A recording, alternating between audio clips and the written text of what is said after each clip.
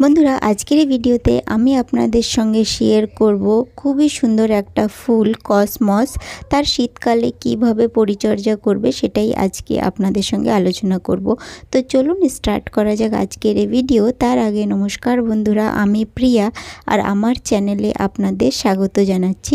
বন্ধুরা, যদি আপনারা আমার চ্যানেলে নতুন ভিজিট করছেন, তাহলে চ্যানেলটাকে সাবস্ক্রাইব করে বেল আইকনটাকেও টিপে দিন, তাহলে আপনারা আমার এই ধরনের ভিডিও সবার আগে দেখতে পাবেন। আর যদি আপনারা এই ভিডিওটাকে হিন্দি ভার্জানে দেখতে চান, তাহলে চ্যানেল লিস্টে যখন আপনারা যাবেন, ওখানে আমার আর একটা চ্যানেল শো হচ্ছে ডিআইওয়াই থিংস উইথ প্রিয়া ওখানে গিয়ে এই ভিডিওটাকে হিন্দি ভার্জনে দেখতে পাবেন। তো চলুন স্টার্ট করা যাক আজকের এই ভিডিও বন্ধুরা, কসমসের ফুলের ভ্যারাইটিসের রং প্রথমে বলে দিই আপনাদেরকে, এতে গোলাপি, বেগুনি, কমলা, হলুদ, এমনকি এতে মেরুন কালার, লাল, সব রকম রং কিন্তু এতে পাওয়া যায়।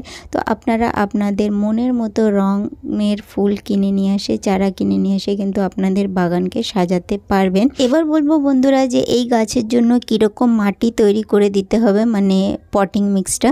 তো আমি কিছুদিন আগেই আপনাদের সঙ্গে এই দুটো গাছকেই রিপোর্টিং করেছিলাম মানে প্রতিস্থাপন করেছিলাম, তো তার ভিডিও শেয়ার করেছি। তো শেয়ার আই বাটনের লিঙ্ক দিয়ে দিচ্ছি, আপনারা গিয়ে দেখে নিলে বুঝতে পারবেন যে কীভাবে এর প্রতিস্থাপন করতে হবে। তো সেভাবে আপনারা যদি আপনাদের এই গাছকে যদি প্রতিস্থাপন করতে পারেন, তাহলে আপনাদেরও গাছে এত সুন্দরভাবে ফুল আসবে। আর অনেক বেশি বড় টবেরও এর দরকার হয় না। তবে এর যে গাছের যদি আপনারা হাইট অনেক বেশি নিতে চাইছেন, যেমন এই গাছের হাইট কিন্তু এক ফিটের থেকে নিয়ে ছ ফিট অবধি হাইট হয়ে যায়, তো আপনারা যত বড় টব যদি দিতে পারেন, তাহলে কিন্তু আপনাদের অনেক বড় চারা হবে এর। এবার বলব যে এই যে যে গাছ আপনারা দেখছেন, তো এই গাছে কিন্তু আমার যে গাছটা দেখছেন, তাতে কিন্তু অনেক শুকনো ফুল মানে স্প্যান্ড যে ফুলগুলো থাকে সেগুলো হয়ে আছে। তো যদি আপনাদের গাছে এই শুকনো ফুল যদি না কেটে বাদ দিচ্ছেন, তাহলে কিন্তু আপনাদের গাছে আর ফুল আসবে না। আর ফুলের সাইজগুলো অনেকটা ছোট হতে থাকবে আর আস্তে আস্তে বন্ধ হয়ে যাবে। তো এগুলো কিন্তু কেটে সরিয়ে দেওয়া খুবই দরকার। তো আমি আমার গাছে যতগুলো স্প্যান্ড ফ্লাওয়ার বা শুকনো ফুল আছে, যে বীজ তৈরি হচ্ছে, সবগুলোকে কিন্তু কেটে বাদ দিয়ে দিচ্ছি তাড়াতাড়ি করে। চেষ্টা করবেন যখন ফুলগুলো ফুটে গেছে আর তার দু তিন দিন পরে যখন ঝরে পড়ে যাচ্ছে এই পাপড়িগুলো, তখনই কিন্তু কেটে বাদ দিয়ে দিতে। আমি আপনাদেরকে দেখাবো বলে জিনিসটাকে রেখে দিয়েছিলাম। আর মানে সেই হিসাবে অনেকগুলোই কিন্তু স্প্যান্ড ফুলগুলো হয়ে আছে। তো সবগুলোকেই কেটে দিচ্ছি। একটুখানি খেয়াল করে কাটতে হবে, কারণ ডালগুলো ভীষণ পাতলা পাতলা থাকে আর এর পাতাগুলো আপনারা দেখছেন ভীষণ পাতলাই থাকে। তো সেই জন্য একটুখানি সাবধানভাবে কাটবেন, নাহলে কিন্তু এইভাবে কাটতে গিয়ে একটার জায়গা ফুলও কেটে যেতে পারে, যেটা আমার সঙ্গে এখন হলো। এবার এটা কাটতে কাটতে আমি আপনাদেরকে বলে দিই, এই যে যে গাছ, এর কিন্তু টেম্পারেচারেরও ব্যাপারটা আপনাদেরকে বলে দিই যে কতটা টেম্পারেচার এই গাছের জন্য দরকার। তো আঠারো ডিগ্রি থেকে পঁচিশ ডিগ্রি টেম্পারেচার যদি থাকে, তাহলে এই গাছটা কিন্তু খুব ভালোভাবে ফুল দিতে পারে। আর তার থেকে অনেক বেশি ঠান্ডা বা অনেক বেশি গরম পড়লে কিন্তু এই গাছ কিন্তু অনেক ভালোভাবে ফুল দিতে পারে না, আর ভালোভাবে সার্ভাইভও করতে পারে না। তো সেই ক্ষেত্রে আমাদের টেম্পারেচারটা একটুখানি দেখতে হয়। আর শীতের যদি যেমন আমি যেখানে থাকি কলকাতায়, তো সেখানে অনেক বেশি টেম্পারেচার নিচে যায় না। তো সেই জন্য এই গাছে খুব ভালোভাবে ফুল আসছে আপনারা দেখছেন। আর আমি কিন্তু এই গাছটাকে প্রপার রোদ যেখানে আসে মানে এমনি তো শীতের খুব একটা অনেক বেশি রোদ হয় না। তো সেখানেই রাখার চেষ্টা করি যেখানে ভালো রোদ আছে, কারণ আমার যত গাছ আছে সব বেশিরভাগই ছাদেই রাখা। তো সেই জন্য আমি পুরোপুরি যেখানে রোদ থাকে সেখানেই রাখি। আর এবার বলব যে জল কতটা লাগবে এই গাছের? কসমসের শীতে কিন্তু অনেক বেশি জলের প্রয়োজন হয় না, তো আমি তবুও গাছে, প্রত্যেকটা গাছেই কিন্তু রেগুলার একবার করে জল দিই।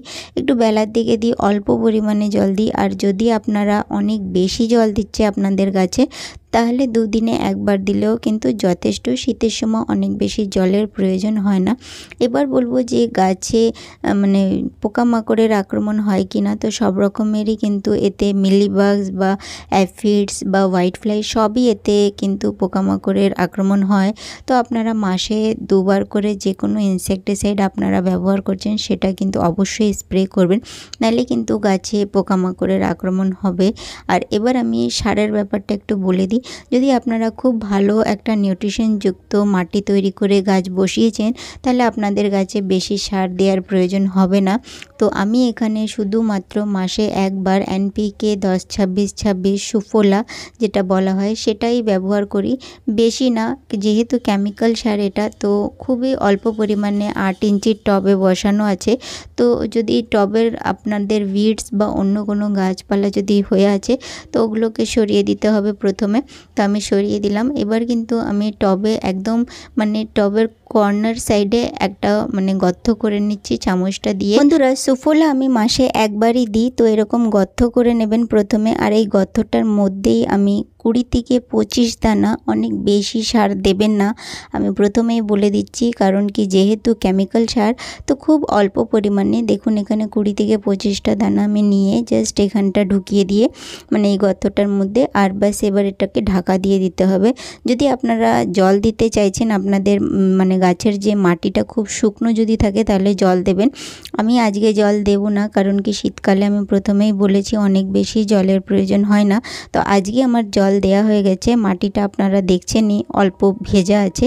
তো আর জল দেব না, কাল আবার যখন জল দেব তখনই কিন্তু এই এই সারটা আস্তে আস্তে মানে ডিকম্পোজড হবে আর গাছটা কিন্তু যেভাবে নেয়ার সেটা নেবে। আর এই সারটা ছাড়া আমি শুধুমাত্র সর্ষের খোলের লিকুইডটা দিয়েছি এই গাছে। এছাড়া আমি আর কিছুই দিই না, সেটা সর্ষের খোলের লিকুইড জলটা আমি মাসে দুবার করে দিই। আর কীটনাশকের কথা আপনাদের বলে দিয়েছি ফাঙ্গিসাইড মাসে দুবার করে দিই, সব গাছে দিই, এতেও দিই, যাতে কোনো রকমের ছাত্রাকের আক্রমণ না হয়। এইভাবেই আমি এই গাছটাকে যত্ন করছি, আর ফুলের কোনো রকম অভাব নেই, আপনারা দেখছেন, খুব ভালোভাবে ফুল বা কুড়ি ভর্তি হয়ে আছে। কোনো রকমের পোকামাকড়েরও আক্রমণ নেই, আপনারা দেখছেন, আর কোনো রকম ছাত্রাকেরও আক্রমণ নেই, কারণ আমি মাসে দুবার করে স্প্রে করি ওই দুটো জিনিসেরই। তো গাছ খুব ভালোভাবে বৃদ্ধি করছে। আপনারাও এইভাবে আপনাদের কসমস গাছের পরিচর্যা করতে পারবেন। তো এটা হলো আমার আজকের ভিডিও। যদি ভিডিওটা আপনাদের ভালো লেগে থাকে, তাহলে আপনারা লাইক আর শেয়ার করা একদম ভুলবেন না। আর যদি আপনারা আমার চ্যানেলে নতুন ভিজিট করছেন, তাহলে চ্যানেলটাকে সাবস্ক্রাইব করে বেল আইকনটাকেও টিপে দিন। তাহলে আপনারা আমার এই ধরনের ভিডিও সবার আগে দেখতে পাবেন। আর ভিডিওটা দেখার জন্য ধন্যবাদ।